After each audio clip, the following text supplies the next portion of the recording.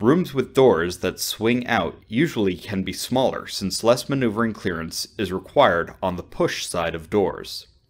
On the push side, a strike side clearance of at least 12 inches is required for a forward approach if the door has both a closer and a latch.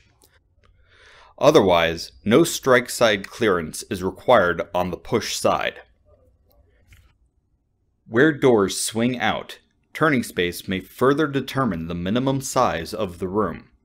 Lavatories and other fixtures with knee and toe space can overlap a portion of the turning space.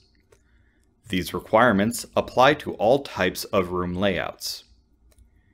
For example, in the case of a room with a lavatory opposite the water closet, the same requirements apply, including minimum clearances at the water closet and the lavatory and any other provided fixtures, door maneuvering clearance unobstructed by any fixtures, location of the door swing outside fixture clearances unless wheelchair space beyond the door swing is provided in the room, and turning space, which can overlap fixture and door clearances and the arc of the door swing. These requirements apply equally to other layouts.